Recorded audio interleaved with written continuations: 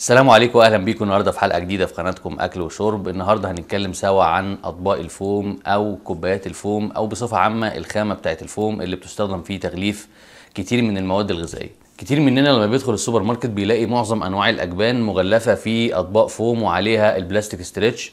كمان برضو الدواجن واللحوم بأنواعها المختلفة بنلاقيها برضو بنلاقيها في معظم الأحيان مغلفة في آه، الطبق الفوم دوت وبرضو عليها البلاستيك آه، الشفاف اللي بيبقى على المادة الغذائية من بره. وكتير برضو مننا شاف على مواقع التواصل الاجتماعي أو حتى في بعض آه، الجرائد الإلكترونية إن مادة الفوم دي تعتبر مادة مسرطنة وبتحذر من استخدامها. وفي بعض البلاد آه، حظرت استخدام الكوبايات الفوم تحديدا عشان بتتعرض لدرجة حرارة عالية مع المشروبات الساخنة سواء القهوة والشاي. في حين إن في بعض البلاد بتجيز استخدام متداول مادة الفوم ديت لتغليف المواد الغذائية ومفيش فيها أي مشكلة. يا ترى إحنا كمستهلكين نسمع كلام مين؟ وهل تعتبر فعلا مادة الفوم ديت مادة آمنة صحيا ولا لأ مادة الفوم تعتبر من أحد مشتقات صناعة البتروكيماويات وتعتبر أحد الخامات للبلاستيك رقم 6 كنا عملنا حلقات سابقة عن أنواع البلاستيك ودرجاته والأرقام بتاعته والرموز وأفضل استخدام لكل رمز منهم. هنسيب لكم رابط الحلقة في الوصف أسفل الفيديو. لو إحنا مسكنا أي طبق من الفوم زي ما قلنا ممكن يكون أسود ممكن يكون أصفر ممكن يكون أي لون.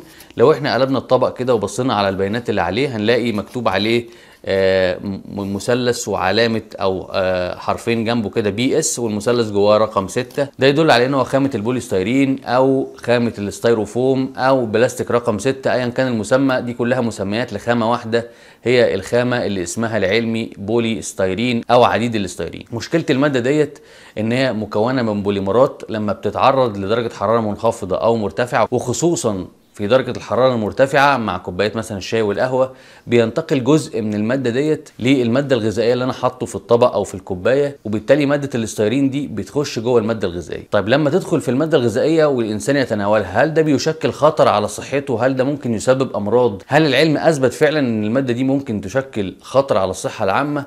في الحقيقة الموضوع دوت محل خلاف علمي والخلاف العلمي هنا مش إن مادة الستيرين دي بتنتقل للأكل ولا لأ هو الخلاف حوالين هل المادة دي فعلا مؤثرة على صحتنا ولا لا؟ في بعض البلاد خدت بالأبحاث اللي بتقول إن المادة دي آمنة تماما والانتقال اللي بيحصل ده بيحصل بكميات صغيرة جدا بل متناهية في الصغر وما بتأثرش خالص على فئران التجارب وبالتالي ليس لها أي تأثير على صحة الإنسان.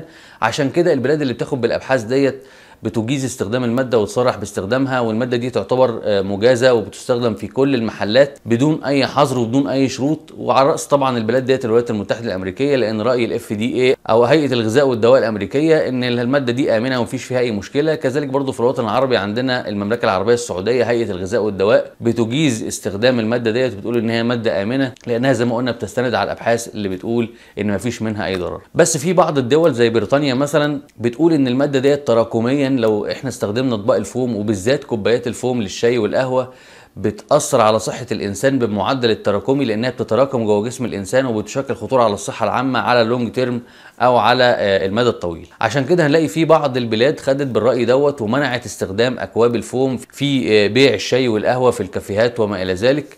وبرضه منعت استخدام اطباق الفوم في تغليف أي مادة غذائية واستبدلتها بالأكواب الورقية اللي هي ممكن تتحلل بيئيا ومفيش فيها أي مشكلة. وعشان نشوف آه، الخلاف العلمي دوت وصل لإيه عندنا مثلا مثل بسيط آه، إمارة الشارقه في الإمارات العربية المتحدة بت- بتمنع استخدام الأكواب اللي مصنوعة من خامة الفوم وكمان برضه الأطباق المصنوعة من خامة الفوم. وهنسيب لكم آه، في الوصف أسفل الفيديو رابط لبرنامج إخباري بيوضح إزاي إن إمارة الشارقه منعت استخدام أطباق الفوم وأكواب الفوم في حين إن إمارة أبو ظبي اللي في نفس الدولة بتجيز استخدامها وبتقول إن هي آمنة ومفيش فيها أي مشكلة. يبقى الموضوع كده في خلاف علمي في رأي بيقول إن هي آمنة ومفيش فيها أي مشكلة وهو ده الرأي الأكتر واللي عليه أدلة أكتر واللي الأبحاث اتعملت فيه بشكل أكبر وفي رأي تاني وإن كان أقل بس بيقول إن المادة ديت بتنتقل وبتتراكم في جسم الإنسان وبتشكل خطورة. أنا كمستهلك أستخدم أطباق الفوم إزاي عشان أبقى آمن وآخد كل الاحتياطات على صحتي وصحة أسرتي. من المفضل إن أنا لو اشتريت أي مادة غذائية محفوظة في طبق فوم إن أنا أول ما أوصل البيت أطلعها من طبق الفوم وأحطها في علب الحفظ سواء علب الحفظ اللي عندي ديت من الزجاج أو من البلاستيك رقم خمسة اللي اتكلمنا برضو عنه قبل كده وأحطها في التلاجة. ويا ريت كمان العلب دي تكون في ليها غطا محكم الغلق عشان أقدر أحافظ على المادة الغذائية بالذات لو أجبان إن هي تنشف أو الرطوبة بتاعتها تقل وبالتالي